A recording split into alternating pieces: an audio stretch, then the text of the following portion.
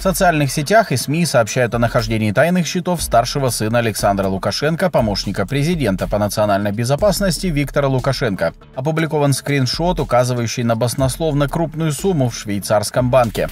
На скриншоте вы можете видеть состояние счета Виктора Лукашенко в швейцарском Credit Suisse по данным на 24 марта 2012 года. Сумма поражает воображение. В пересчете с евро и швейцарских франков она составляет 840 миллионов 467 тысяч долларов. Это около полутора процентов всего ВВП Белоруссии только в одном банковском учреждении, сообщают средства массовой информации.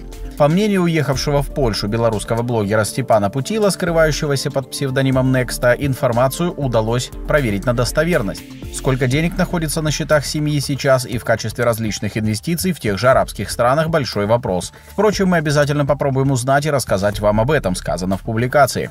Напомним, 12 июня Александр Лукашенко заявил об изъятии привлеченных по делу без Газпромбанка, белорусской дочки Газпрома, менеджеров крупной суммы неправедно нажитых денег в размере нескольких тысяч долларов.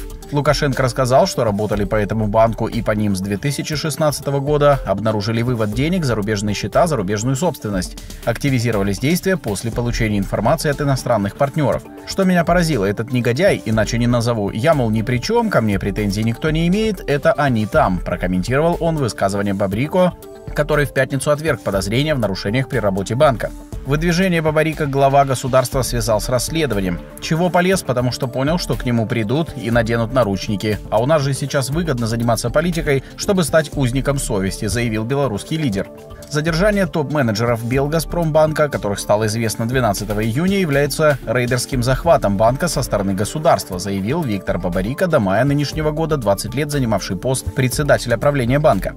Я полностью разделяю позицию из пресс-релиза «Газпрома» и «Газпромбанка». Это рейдерский захват, причем со стороны государства, нарушающий не только внутреннее законодательство, но и международные договоры, заявил Бабарико. 12 мая он объявил о своем решении баллотироваться на пост президента. Выборы пройдут 9 августа. Вся логика происходящего подсказывает, что это процесс, направленный против меня. Он затрагивает интересы собственников, клиентов, творится абсолютный беспредел. Нарушаются все законы Беларуси по банковской тайне в отношении людей, которые даже не являются фигурантами этих дел, продолжает Бабарико.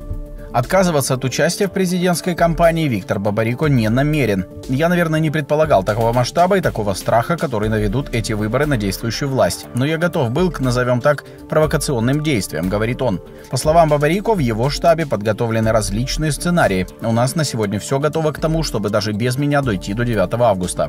До 19 июня инициативные группы должны сдать минимум 100 тысяч подписей в поддержку выдвижения кандидатов. Напишите в комментариях свою точку зрения на это. Также вы нам очень поможете, если поделитесь этим видео на своих страничках в соцсетях.